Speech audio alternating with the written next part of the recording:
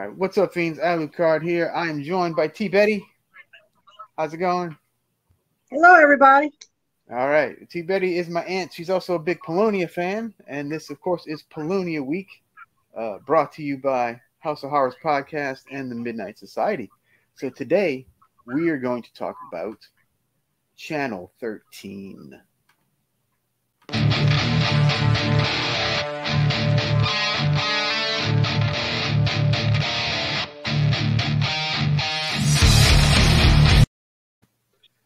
All right, so Channel 13 was released, was physically released in 2015. However, it was filmed, I believe, around 1987 ish, something like that. Uh, when they, when the Polonia brothers were in their, uh, uh, I believe, their early 20s or something.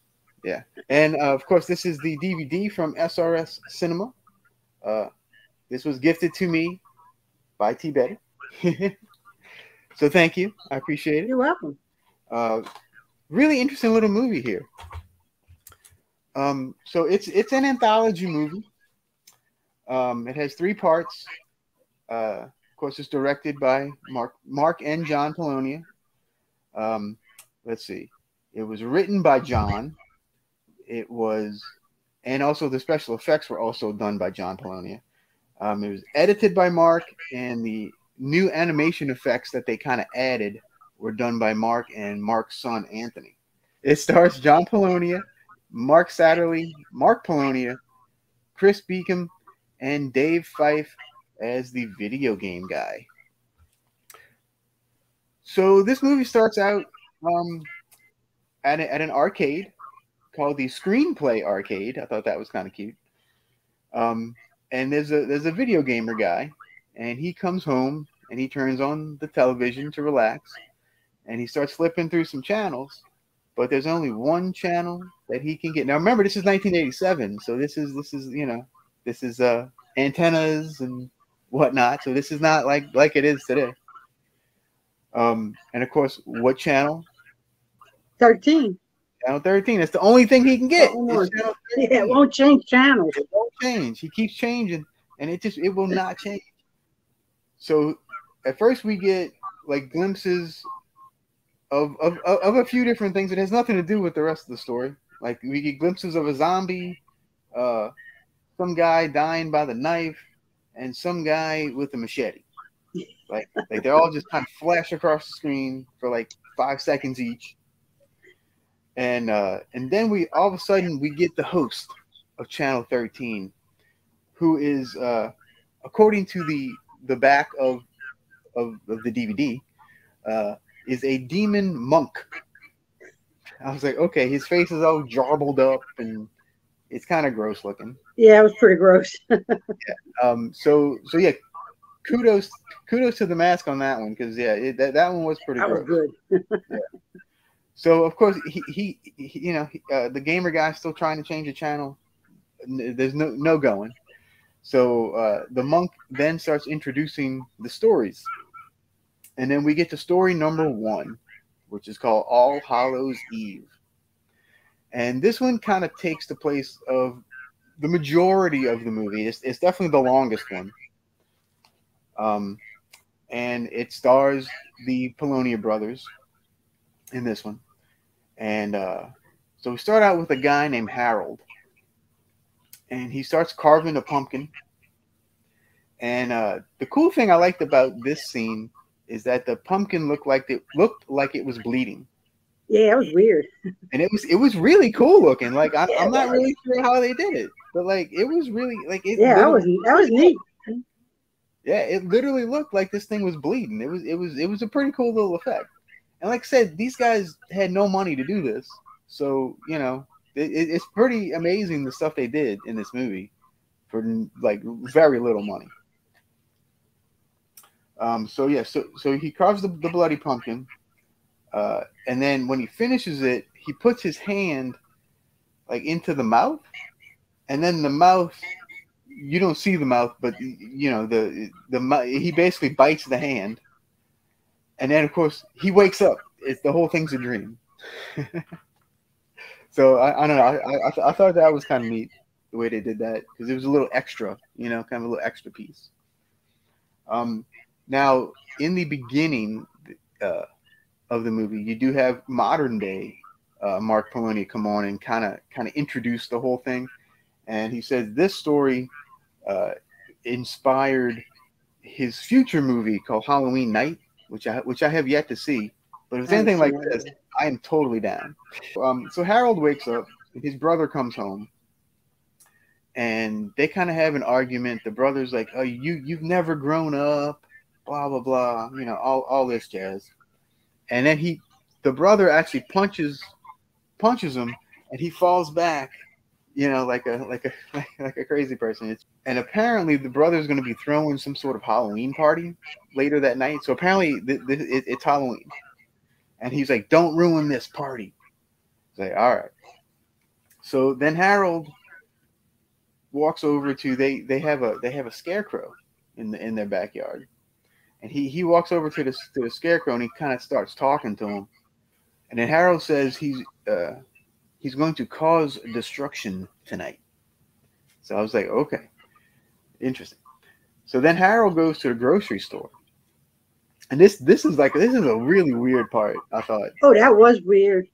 He yeah he, he walks in and he he he steals one of these like real sharp knives that's just out and about. You can just grab it and take it out of the sheath, the whole thing. And then he, he like stalks this clerk that works at the grocery store and and he he he ends up killing him like in the middle of the aisle with this giant knife, and like it's just I know it's just it's real bizarre and real. It is, and you know that scene, according to what he said in the in um, the beginning, that that was actually filmed when that grocery store was open and people were actually shopping, and he was wondering at the time what they thought those people thought about that. That was hilarious. I I would like to have seen behind the scenes of that. That Wouldn't you? that would have been something right there. So now we cut to the Halloween party, and we see that the scarecrow is off of his his uh, pole. The scarecrow actually meets up with Harold. Like they kind of sit down and kind of have like a like a conversation type of thing. Yeah, he tells him you're my best friend. Yeah, yeah, you you're my best friend, blah blah blah. And he, he's tired of you know, Harold's tired of being picked on, you know, all kind of stuff. So then the scarecrows, and this is this is this was great. The scarecrow's like, let's go kick some ass. I was like, it was, and, and like it's a, it's a dude like he has the full like uh, head thing on, the whole thing. There's like the the there's like little pieces sticking out like for like eyeballs looking type of thing, and it's yeah, it- it's actually pretty neat. Looking. Yeah, a little straw here and there sticking out. Yeah, sticking out, and it's like like it, the costume was pretty decent actually. it was. So now we cut to another guy. I, I presume it's one of the Polonia brothers, but because because you don't see him because he's he's wearing a Michael Myers outfit, mask, the out, you know the the jumper suit, the whole thing, and he, this Michael Myers guy walks down to the basement. He's he, he's all drunk, right? He's drinking, and then there's a there's a weight bench there. Oh, I love that scene. So he goes to the weight to the weight bench, and he's you know he's lifting this like, like little bitty barbell. He's trying to lift it. He's so drunk he can't. He's so drunk he can't even lift it. and reaching those weights with the legs, and his legs couldn't reach. Yeah, yeah, it. the It was legs hilarious. It was That's my really favorite scene in that one. So the of course the the scarecrow comes. The so the scarecrow basically just just t- makes a fist and just punches directly through Michael Myers' face, like from the back, and it just goes. Blah. And again, uh, really good effect for no money. it was. I mean, it, it was really, uh, I was really surprised at, at how good the stuff looked in this one. Because this, I, I find sometimes uh, the Polonia stuff looks like really fake and really cheap, but but these looked really good, like like way like above what they normally do, especially back then in the in the eighties, because that was when they that was like their you know their first heyday, I guess you could say. Then the Scarecrow goes after the crazy brother, Harold's brother.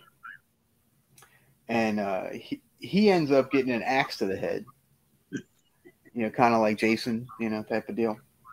Um, and this, okay, so this is where I think it should have ended. but it keeps going. There's there's actually a little more to it. Um, and I think I'm I'm gonna end this story there because I'm not gonna tell you the ending of this story. I mean, there are a couple more uh, pretty gruesome kills and stuff to this story. Like I thought the kills were pretty good. It goes on for like another ten minutes. Like you you think it would end with the the death of the crazy brother, but it but it doesn't. No, it didn't. yeah. But anyway, overall, I actually really did like this story. I thought I thought the acting was pretty decent. Um, the effects I thought were were pretty great for no budget. And uh, yeah, I, I, thought it was a good time. Like I said, if if Halloweenight is anything like this at all, I'm totally down. I definitely, I'll, oh, I'll, me too.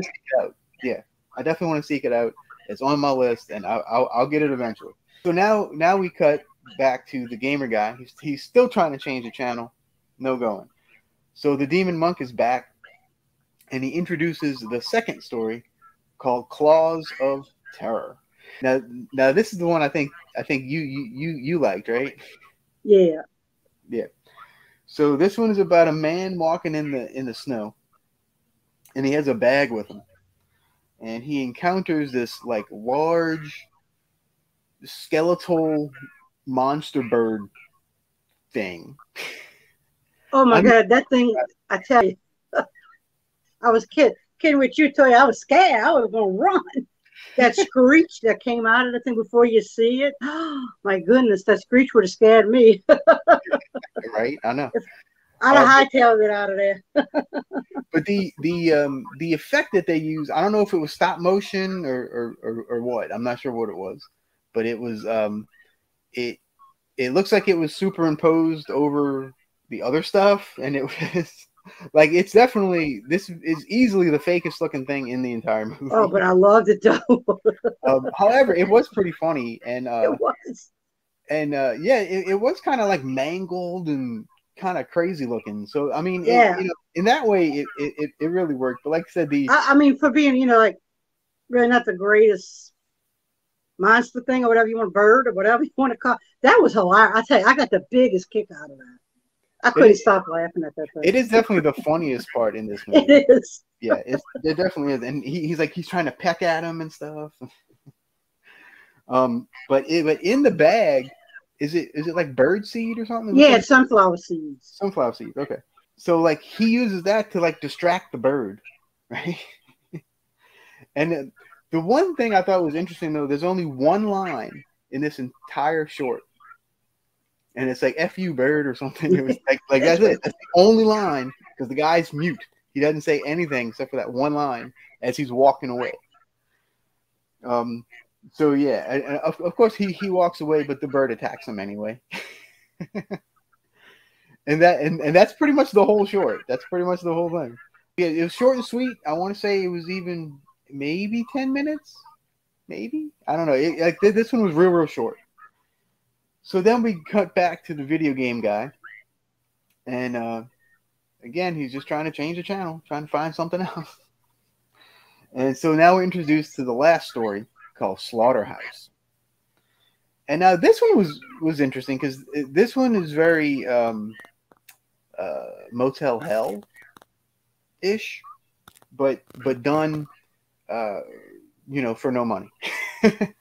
so uh, basically, this one's about a guy named Hank, played by one of the Polonia brothers. Uh, back, I, I, definitely couldn't tell who was who back then, so I can't. no, you. I couldn't either. uh, uh, Hank, he he he's a uh, a cannibal spaghetti farmer. Is basically what what what he ends up being, um, and he actually has a guy dressed in like the Jason sack. uh, like killing people to to to mush them up into food, kind of thing.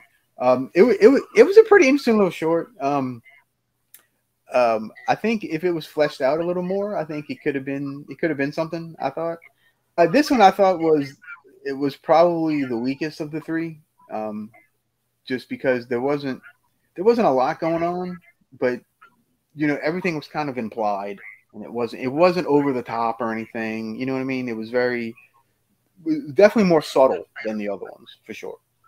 We cut to the last scene of the video game guy, and all of a sudden the the demon monk guy shows up and like makes and like shoots this thing at him at the guy and like makes him disappear. And then that's that's how the movie ends. Uh yeah, so um so overall though, I, I was thoroughly entertained by this one. Um, I was too. especially since um I'm not I wasn't the biggest fan of like the old Polonia stuff, like the early stuff. Um I have seen a few uh like Hellspawn and stuff like and um yeah. I actually need to rewatch Hellspawn because when I watched it I wasn't I don't think I was in the right mindset. But um now that I understand the the, the Polonia folks better now, uh I I think I I think I'd have a new appreciation for it. I do remember it being pretty bad, though, I- so I don't remember. Uh, but I am going to do a, a rewatch on that soon. Yeah, and Uh, let me say this too: if you do, if you do watch this movie, make sure you listen to the commentary because he tells you a lot of things that went on. Like they had camera problems, and they shot some in uh, in video, some in with the camera, some with the VHS. They they had to send a camera to get a part put on it, and Mhm. um, also that he explains that they found he found them in a drawer, but he couldn't find the script, so he had to do some wraparound in in, in the film. And uh, but I tell you what, if you want to have a good laugh. I mean, cause see, I like the silliness. I like the um, basicness of some of them, the early ones. But I can see they are gradually everything's imp- improving. But that bird, I will never get over that bird. But it's a fun, fun movie. So yeah, um, if you want to laugh and have a good time, I really highly recommend this one. Yeah, same. Um, I, I I really like this one, especially the first story. I thought was really good. That was good. Uh, just just know going in that it, it is super low budget. It's like almost no budget, Right. and um, so that's that's the level you, of stuff you're going to get here. This, this was made, um, I think, right before they did um, uh, Splatter Farm. So I just watched that, by the way. if anybody, yeah, if any, anybody knows Splatter, I know Splatter Farm is one of their big ones. So that's uh, that's around the. T- this was made right before that, and they found they they didn't even know that they had uh they had this because th- didn't he find it in like a drawer? In a drawer, he was cleaning out of the drawers and the He was like, file "Oh, cabinets. Came Yeah. across, but he said he couldn't find his script because somehow he said they don't. He didn't remember what their mindset was, what they were thinking at the time to Mhm. film this. But uh, you really get the commentary is really good to watch in the beginning because it'll give you a better uh, understanding of what it was going on at the time. You know, like with the camera problems and they filmed the thing in an actually live grocery store without permission. Nice. That's awesome. Yeah, And- so that that's a good because I don't usually watch commentaries, and this happened to start. I think it started before the film, if I remember right. And I was like, oh, I got to start watching these things because it really explained a whole lot. Yeah. Very cool. Yeah. So the commentary is available on the SRS uh, DVD. Um, the movie itself, without the commentary, is also available on Tubi right now. If you do want to watch it, um, like I said, I do recommend it. It's only an hour and thirteen minutes altogether, so it's it, it's it's it's not a big uh, commitment. You know what I mean? Uh, and that, that's actually one of the things I like about the Polonia movies too. They're, they're not a big commitment. They because they're only they're usually only just a little bit over an hour. Uh, it's like boom boom, you're in out, and you know, party time. You know. so and yeah, most of that was filmed at their house and in their garage. right, yeah. I, I I assume that that was their basement and stuff. Yeah. Yeah. Well, well, very cool. Um, I'm gonna give this movie. Uh, I'm gonna give it three and a half bats out of five. I agree. There you go. So yeah, uh, definitely check it out. It's definitely a good time, um, and definitely, I think one of the better Polonia Brothers movies that I've seen. Actually, It was Um, good. like I said, I was highly entertained. Uh, I was, I was, I was pretty impressed with it. So yeah. Uh, anything else you'd like to add? No, just like I said, you know, keep in mind it's funny. Uh, you know, it's one of the earliest things, and you got to be in the mindset you want to laugh at a horror film. I like the silliness, I really do. But uh, Polonia Brothers, I really do like them. I'm, I'm slowly getting to see a little bit of everything that they're doing. Um, I've been watching the most one every night on the um, on Tubi, and I'm hoping to get more. But like I said, definitely good time. Awesome. All right. On that note, we're going to say goodbye. So you have a happy Polonia week, and we'll see you guys next time. Remember, stay spooky. Bye bye.